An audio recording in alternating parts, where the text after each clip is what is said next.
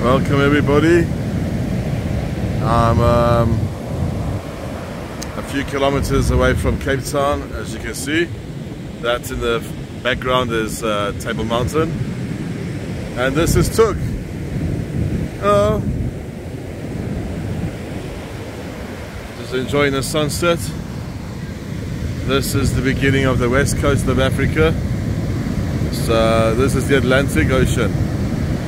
It's uh, pretty um, cold and um, pretty treacherous. A pretty treacherous uh, coastline which is approaching me rapidly. So this is just a quick, uh, quick short of us doing sunset on the west coast of Cape Town in an area called Bloubergstrand.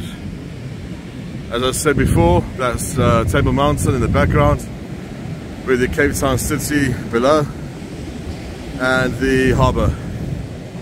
And in the far distance, if you can make it out, is uh, Robben Island where uh, many a political prisoner was uh, was held and back in the 1800s was a leper colony.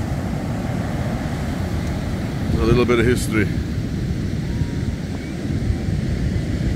Okay cheers guys. Please like share where possible subscribe. Thanks so much. Enjoy your day